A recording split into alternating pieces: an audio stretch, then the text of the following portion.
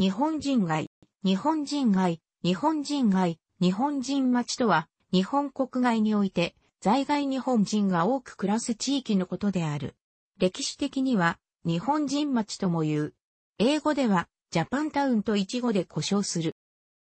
海外に日本人が集まって住む土地を便宜的に日本人町と呼んだものが始まりで、第二次世界大戦以後今日も存在するものは日本人街と表記することが多い。日本と人的、経済的つながりの大きい国の都市などには日本人移民や企業などが派遣した日本人駐在員が単身、または家族を伴って移住したり、長期滞在したりする。彼らを目当てにして、日本料理店や日本の食材を扱うスーパーマーケット、日本語書籍を扱う書店等の商店や、日本人学校、現地日本人会といった施設が建てられると、現地日本人、日系人の利便性増し、さらに集積が進展する。規模は様々で、一本の通りに数軒の商店と数人の日本人世帯がある程度の小規模なものから、都市の特定の通りに日本人向け店舗や住宅が密集しているものまである。タワー型コンドミニアムを駐在員のために日本企業が借り上げているケースや、都市の一地区が丸ごと日本人街として認知されているケースなどもある。南蛮貿易などで日本人の海外進出が本格化した16世紀以降、東南アジアの港町に日本人が集まって住むようになった。その最大のものは、タイのアユタや日本人町、16世紀から18世紀頃で、最盛期には1000から1500人の日本人人口を数えた。アユタや日本人町の責任者は、バンダーサック、タイの官位第3位の位階を持ち、政治的にも発言力を持っていた。また、現朝、現在のベトナム社会主義共和国のホイアン、マレー半島のパタニ王国、カンボジアのプノンペン、フィリピンのマニラ、ルソン、ルソン島にも同様の小規模な日本人町が形成された。1613年、慶長18年に、伊達政宗がスペイン国王及びローマ教皇のもとに派遣した慶長剣王施設の中には、日本のキリスト教禁教政策を受けて帰国しなかった仙台藩士等もいるとされる。スペインのアンダルシア州セビリア県にあるコリアデルリオには、ザパン、ハポン、日本の姓を持つ人が現代でも約700人存在し、1996年には駐スペイン、日本大使の呼びかけによって、セビリアで子孫らのパーティーが催された。東南アジアの日本人町は、江戸幕府による鎖国政策の完成、1632年を受けて、日本との往来が途絶えたため、在住日本人が現地住民と同化する形で徐々に消滅した。鎖国中にも貿易が許されたのは、清と李氏朝鮮及びオランダに限られたが、そのうち朝鮮半島のプサンには、中世の居留地である、三浦和館を受け継いだ、総領和館、総領和館、チョヤンウェグアンが置かれ、千島藩から派遣された役人や商人など、日本人400から500人が居住していた。厳密には、日本人町ではない、琉球人町も存在した。1609年に、それまで独立国家であった琉球王国が、薩摩藩の実質的な支配のもと日本の勢力圏下に入ったが、琉球処分、1870年までは、清と琉球の形式上の作法関係は続けられ、福建省の福州市には、琉球人が居留する、琉球館、10円駅が置かれた。皇帝への配列や、交易のために新興線で行き来する首里の琉球、王府政福祉や役人、留学生、商人などが居住、滞在した。明治維持に後、日本政府はブラジルやハワイなどへの移民を奨励した。多くは農村部で開墾に従事したが、首都や主要都市には日本人会が置かれた。ボリビアのリベラルタにも第二次世界大戦前後に日本人町があったが、戦後急速に縮小し、現地住民と同化した。19世紀後半から20世紀前半にかけて、列強諸国は中国の主要都市に疎開を設置したが、日本も日清戦争後に天津、観光などで日本人居留地として疎開を開設した。これらの日本疎開は一般の日本人外とは異なり、日本が治外法権を獲得したほか、行政機関や警察署の運営もいった。上海には日本疎開は存在しなかったものの、アメリカやイギリスと共に共同疎開を形成し、日本も列強の一員として行政に参与し、日本人居住者が多かった高校地区は日本疎開と通称された。日本疎開は中国のほか日韓併合までの朝鮮にも存在した。また、長春以南の満州各都市には日露戦争後、日本の国策会社である南満州鉄道が行政運営を行う鉄道付属地が設置され、日本人の都市在住者の多くがここに居住した。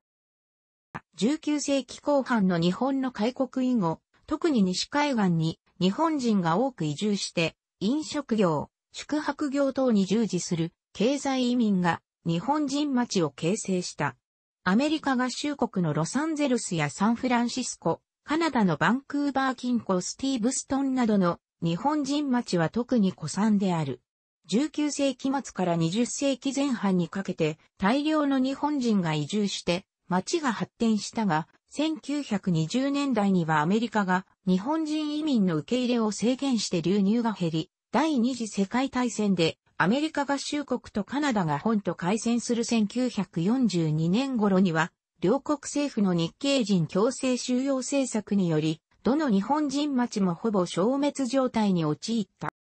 この時、コロラド州知事であったラルフ・ローレンスカーは一貫して、公然と日系人の強制収容に反対し、州民に対してと呼びかけた。カー知事は各州で市民権を拒否されていた数千人に及ぶ日系アメリカ人と在住日本人をコロラド州に受け入れた。同州デンバー市内の古い日本人町には1976年にカーの胸像が建立され、礎石に鳩の文章が刻まれている。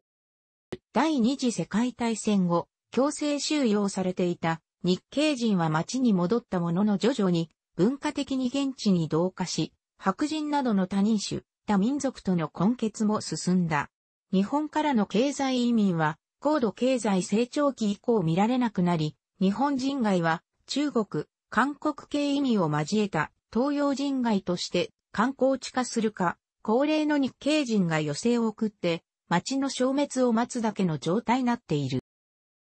ロサンゼルスには世界最大かつ最初の日本人街とされるリトル東京がある。また、サンフランシスコにあるサンフランシスコ日本人街も1890年代からの歴史を持つ。これらは現在、主に日本料理店や土産物屋などが立ち並ぶ観光地となっている。寿司ブームもあって非日本人の訪問も多いが、現地の寿司レストランは中国系、韓国系移民が経営しているもも多く、日本人の文化とは異なる様相がある。サンフランシスコの日本人街では以前近鉄グループがホテルなどを所有していたが、ロサンゼルスに拠点を集約したため撤退した。本来の意味の日本人町としては、2010年現在18人の日系人が余生を過ごすカリフォルニア州の川下、川下が北米最後のものとなっている。現代では日本人駐在員はこれら伝統的日本人町ではなく、西海岸ではロサンゼルス市内のソーテルや近郊のトーランス、東海岸ではニューヨーク近郊のニュージャージー州、フォートリー、中西部ではイリノイ州シカゴ近郊のアーリントンハイツなどに多く住んでおり、日本人向け店舗が集積したエリアが存在している。バンクーバーの南 17km ほどにあるスティーブストンは19世紀後半以降、フレーザー川川口で取れる鮭の缶詰加工で繁栄し、漁民からなる日本人移民コミュニティが形成された。先区移住者の久野義平が出身地、和歌山県三美村、玄美浜町に移住を呼びかけたため、スティーブストンの日本人社会では三美村出身者の割合が大きかった。第二次世界大戦中はカナダでもアメリカ合衆国同様に日系人の強制収容が行われ、スティーブストンの日系コミュニティは一旦消滅した。戦後は日系人コミュニティが復活し、現在も大きな集団を形成している。バンクーバーのダウンタウンより東へ10分ほど向かったパウエル街周辺にバンクーバーの日本人街があるが、現在はバンクーバー日本語学校やバンクーバー仏教会などが残るのみである。日本食料品店の跡や日系人により建てられた建物などが現存する。チャイナタウンに隣接する旧日本人街南部やオッペンハイマー公園周辺は犯罪や貧困が比較的多い地域とされており、不老者の姿を見かけることもあるが、旧日本人街北部は創造産業やベンチャー企業のオフィス、カフェやレストランなどが点在している。現代では日本人移民の流入が途絶え、日系人は世代が下るにつれ現地への同化が進行している。日系人コミュニティは分散、拡散していく一方、日本文化に触れられる場所として日本人街は人気あり、中国系、韓国系の移住者が流入して、日本風料理店などを経営する例もある。最大の都市サンパウロの中心部にあるリベルダージ。リベルダージ地区は随所に日本らしさが取り入れられている。地区入り口には鳥居や太鼓橋があり、大規模な日本庭園を中心に配置しているほか、街灯が提灯の形になっている。地区には日系人が経営するホテルや日本料理店、書店などが立ち並び、サンパウロに住む日本人駐在員や日系ブラジル人だけでなく、多くのブラジル人で活況を見せている。サンパウロには日本人駐在員の指定向けの日本人学校や日本人幼稚園、学習塾もあるものの集積しているわけではなく、リベルダージ周辺や郊外に点在している。サンタクルス県のサンフアンデヤパカには、日本人街が市に昇格、2001年した珍しい例である。ボリビア国内にあってこの町では日本語が通じる。第二次世界大戦後の1950年代から九州地方出身者を中心とする日本人移民が居住し、主に農業に従事した。日系2世3世が中心となった現在も国際協力機構との連携がある。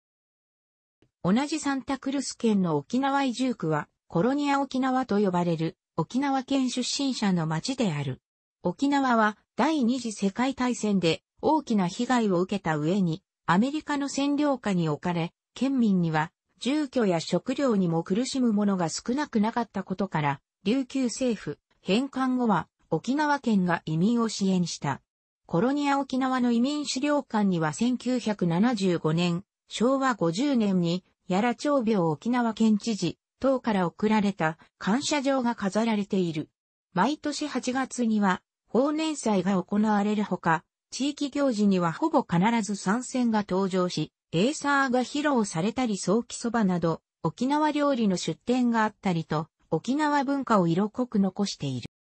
明治維新以降現在に至るまで、世界の金融拠点が多いことや有力な留学先とされたことから、長期滞在者、移住者が多い。2014年時点で日本人会が存在する都市は22都市となっている。以下の他にヨーロッパ各国の首都等には日本人会があって、現地日本人の生活を支援している。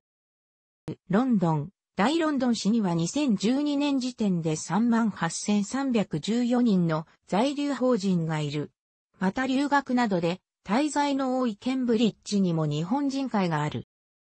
パリでは、オペラ座近くのパリ1区2区、三端の通り、周辺に日系デパートや銀行、日本人向けの店舗が集中している。フランスでは、印象派に、江戸時代の錦絵が影響を与えたり、明治時代以降パリのモンマルトル地区に画家志望者等が多く留学したりと日本との交流の歴史が長いことに加え、近年は日本のアニメ、漫画、文学、村上春樹作品等が人気を得ていることからレラを目当てにしたフランス人等の来訪も多い。近年は韓国系によるお店等が増えている。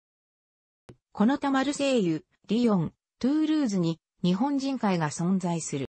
デュッセルドルフには日本企業が多数進出しており、この町に暮らす日本人は2009年時点で5908人と、ロンドン・パリに次いでヨーロッパ第3位のコミュニティ規模を持つ。2016年6月まで在ドゥッセルドルフ日本、総領事館のあったインマーマン通りには、日系企業だけで200社が集中し、日本人向けの食料品や書籍を扱う店舗がある。ほか、病院、薬局、不動産やクリーニング店などにも日本語が表記されている。デュッセルドルフでは日本風の夏祭りも開催される。このほか、ミュンヘンに日本人会がある。東アジア、東南アジアは日本からの距離が近く、近世以来日本人が多く進出、移住してきた。第二次世界大戦での日本の敗北とともに、伝統的な日本人町は、ほとんどが消滅したが、高度経済成長を経て、ビジネスでの往来が活発になるとともに、日本人駐在員が各地に長期滞在、居住するようになった。また国際協力及び留学、学術研究での移住のほか、近年ではマレーシアのように国家プロジェクトとして定年退職後の日本人移住を奨励する例もある。上海では日本領事館近くの古北、偶米新区に日本人駐在員が集中し、日本人向けの店が集中しており、日本村等と呼ばれている。また、近年は、歩東新区にも日本人専用マンションや日本人向け店舗の集積が進み、上海2校目となる日本人学校も開校している。北京のスケウマ橋、リャンマーチャオや日本大使館付近の幸運街、ハオユンジェなども有名な日本人街である。ソウル特別市には日本人駐在員とその家族など9500人が住むが、そのうち1300人は達山区に村道、イチョンドンに居住している。この地域には日本料理店や日本人向けの商店があり、銀行には日本人専用窓口が設けられ、幼稚園には日本人児童クラスもある。歩行市南区九流裏は日本統治時代に作られた日本人向けの町である。当時は日本領内なので正確には日本人町ではない。当時の建造物が残り、現在は補修されて観光地となっている。シンガポールには3万人を超す日本人が住んでいる。人口密度の高い都市のため、利便性を各自考慮して住む場所を選ぶ傾向がある。日本人に人気が高いエリアとしては、中心部では日系デパートから徒歩圏内のオーチャードロードやサマセット地区、古くから日本人の多いなどがある。郊外ではシンガポール日本人学校や早稲田、渋谷シンガポール校があるが人気がある。在シンガポール日本人を参照。太陽国に居住する日本人のほとんどが首都のバンコクに集中しており、その数は2012年現在で約4万人に上る。バンコク居住の日本人は、スクムウィット通りのソイ23ソイ55、BTS スクイット線、麻生区駅トンロー駅周辺の高級マンションを中心に多く住んでおり、この付近には日本人向けのスーパーや日本料理店、日本語書店も集中している。また、バンコクから数十キロメートル南東方向にあるスイーラーチャー市内周辺は日本人街となっており、現在3000人から4000人の日本人が居住していると言われ、多くが周辺工業団地内の日本企業に勤務するために、スイーラーチャー市内に滞在している。市内には日本人街、日本人学校、幼稚園などもある。日本人学校開校前の2009年までは日本人単身駐在者が多かったが、それ以降は家族での日本人駐在員が増えると予想される。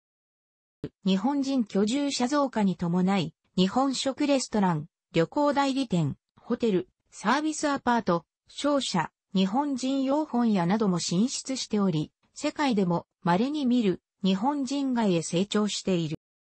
首都クアラルンプールでは、高級住宅地のモントキアラモンキアラに日本人駐在員家族が多く住んでおり、ジャパニーズビレッジと呼ばれている。またダマンサラダマンサラや、キロリットル日本人会近くのタマンデサタマンデサにも集中している。クアラルンプール郊外のプタリンジャヤでは、毎年盆踊り大会が開かれている。首都ジャカルタのほか、バリ島やスラバヤ島などに合わせて17,893人、2014年現在の日本人が住んでいる。日系企業の進出が盛んで、今後も在留法人は増加が見込まれている。ジャカルタ都市圏では南ジャカルタと中央ジャカルタに多く日本人が居住している。南ジャカルタにはブロック M と呼ばれる日本人街があり、日本料理店や日系スーパー、カラオケなどが集中し、現地駐在員を中心に賑わっている。また、ジャカルタ郊外のブカシチカラン地区も日系製造業の駐在員を中心に在住日本人が多く、和食レストランや日系スーパー、日本人向け語学学校や日本人専用デスクを揃える銀行がある。首都マニラに隣接するマカティ市に通称リトル東京と呼ばれる一角があり、日本食の店や居酒屋が並んでいる。オーストラリアは日本から最も近い欧米文化圏国家としてビジネスや留学での往来が多く、移住者も多い。同様にニュージーランドも人気がある。